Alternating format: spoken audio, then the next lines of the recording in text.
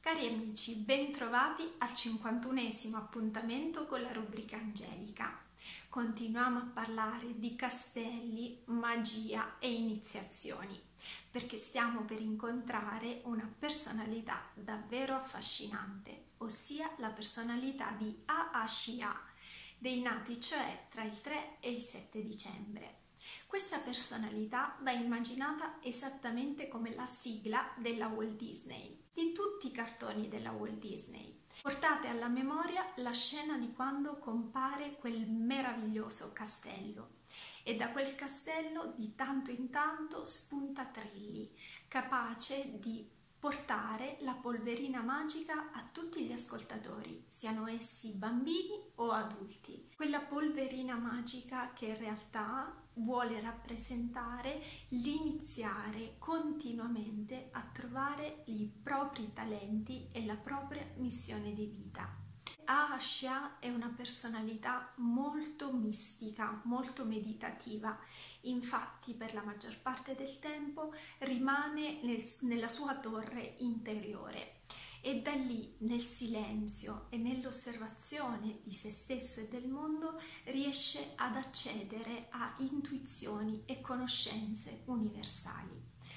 Se riesce a fare questo e riesce poi a trasmetterlo a coloro che li circondano, brillano in particolare in quella dote terapeutica, ossia non solo come medici, ma anche come attori o come grandi comunicatori, riescono a risvegliare nelle persone la missione di vita, lo scopo di vita Chiaramente per la maggior parte dei casi risultano abbastanza antipatici, soprattutto se sentono questo isolamento, questo scollamento dal mondo, ma se con la meticolosità di ogni grande medico non si curano del successo, dell'applauso materiale, ma vanno dritti verso altri orizzonti, portando sempre con loro quella grande forza morale. Grande fu chiaramente Walt Disney. Infatti, in tutti i suoi cartoni si narrano storie di grandi maestri come per esempio Merlino o il grillo parlante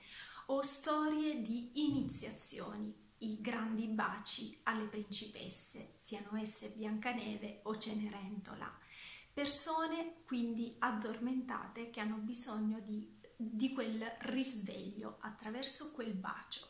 L'unico grande limite che possono incontrare è proprio rimanere segregati nella loro torre e soprattutto per aderire troppo ai principi morali e meditativi dimenticarsi completamente del loro corpo.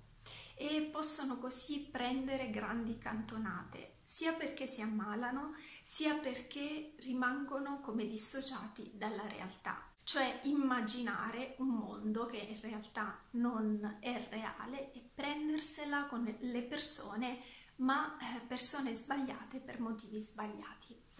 Meglio quindi che facciano aderire i loro compiti fondamentali, che sono quelli più mistici in assoluto, ossia quello di fare silenzio dentro se stessi e accelerare Infatti nelle culture antiche la meditazione era proprio quell'unire il silenzio interiore per arrivare a una grande accelerazione della potenzialità mentale e accedere così a grandi risorse di conoscenza che normalmente nel mondo frenetico sarebbero impossibili.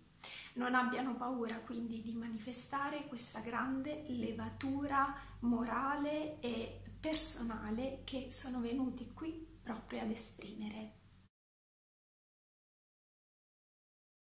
I bambini Asha sentono naturalmente un'attrazione per le storie di magia, di avventura e di iniziazione e voi aiutateli, esattamente come fece il mago Merlino con il piccolo Semola hanno bisogno di quell'infusione di coraggio per trasformarsi da bambini impacciati in grandi re, capaci addirittura di creare una tavola rotonda.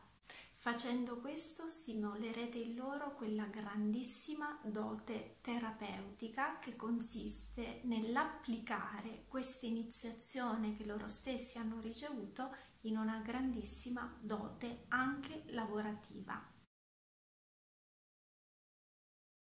Asha ci stimola a pensare al nostro scopo di vita, alla nostra missione. Si sente moltissimo parlare ultimamente di mission e vision anche nel mondo del marketing, come se la nostra missione possa trovarsi all'esterno. Gli antichi dicevano esattamente il contrario. La missione, lo scopo di vita può essere trovato soltanto se si fa silenzio interiore e arrivando in quella torre, facendo silenzio intorno a noi e dentro di noi e staccandoci da quello che pensiamo di essere adesso o che gli altri ci hanno indotto a pensare che siamo, che possiamo raggiungere un contatto con conoscenze universali e da lì la nostra mente in sostanza va avanti per immagini e Walt Disney l'aveva sintetizzato molto bene nel suo slogan più famoso If you can dream it, you can do it. Ossia, se puoi immaginarlo, puoi farlo. Ma è un'immaginazione, quella di cui parla Walt Disney, staccata dai devo, è un'immaginazione libera, un'immaginazione che parte dal vuoto. Prova, non costa niente. Grazie e al prossimo appuntamento.